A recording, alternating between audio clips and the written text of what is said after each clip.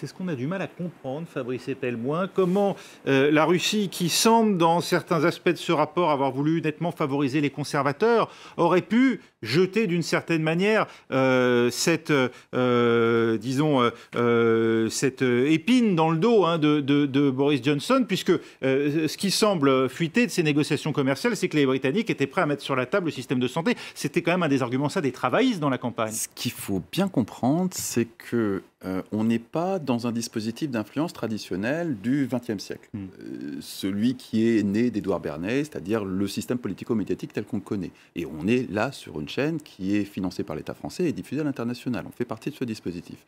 On est sur quelque chose qui opère sur les réseaux sociaux et qui tire parti d'un environnement médiatique qui n'est pas vraiment médiatique, vu que les réseaux sociaux, ça ne sont que des tuyaux, pas des contenus.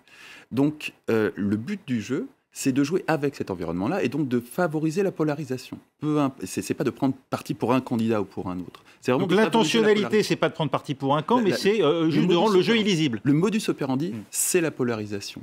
L'intentionnalité, dans le cas du Brexit, très, vrai, très vraisemblablement, c'est de favoriser le Brexit. Mais la, modalité, c'est de polariser. Accentuer les fractures. Accentuer les fractures. Trouver les fractures, accentuer les fractures. Aux États-Unis, on avait des opérations sans doute commanditées par la, même usine à troll qui consistaient à organiser une manifestation Black Lives Matter et de l'autre côté une manifestation du Ku Klux Klan.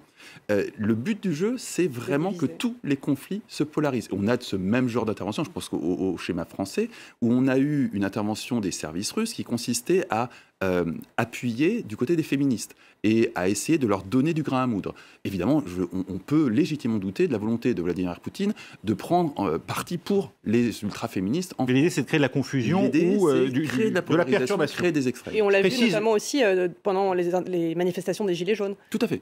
Et de, de, ainsi de que du côté de notre propre gouvernement et de la République en marche, qui a elle aussi mis en place sa petite usine à troll. Je précise, Fabrice Ebelmo, vous faisiez le parallèle, je pense, avec la chaîne, nous sommes sur une chaîne française qui émet à l'international. Euh, nous ne sommes pas la courroie de transmission euh, du gouvernement français, en l'occurrence, que nous n'hésitons pas à critiquer. C'est partie d'un outil de soft power. Oui, mais enfin, en l'occurrence, l'information n'est pas maîtrisée par le pouvoir ici, puisque nous critiquons. C'est plus subtil. On est dans une démocratie. Mais malgré tout, c'est un outil de soft power. Euh, c'est certainement pas aussi euh, radicalement opéré que, le, par exemple, RT News, mais ça reste un ah outil de soft power. Et ça reste surtout. Il y a peut-être plus d'esprit euh, critique ici qu'à RT, c'est ce que vous dites. Oui, ça je vous confirme. enfin, ça, dépend de quel RT on parle. Hein. RT États-Unis n'est pas du tout sur la même approche tactique que RT France. Typiquement, c'est deux chaînes totalement différentes. et il y a une, une, approche tactique qui est très localisée, c'est RT. Alors que là, dans le cas de France 24, c'est une seule approche tactique qui irradie le monde entier. Donc on est encore dans une vieille conception d'un média qui va arroser d'une vérité tout, fut-elle vraie ou pas, tout le monde entier. Les Russes sont déjà sur quelque chose de beaucoup plus parcellaire, beaucoup plus granulaire, et ils vont avoir une stratégie en France avec RT France qui ne sera pas du tout la même chose que la stratégie américaine avec RT US. Euh, si vous regardez RT US et RT France, ça n'a rien à voir en termes de ligne éditoriale, en termes de... Aucun rapport.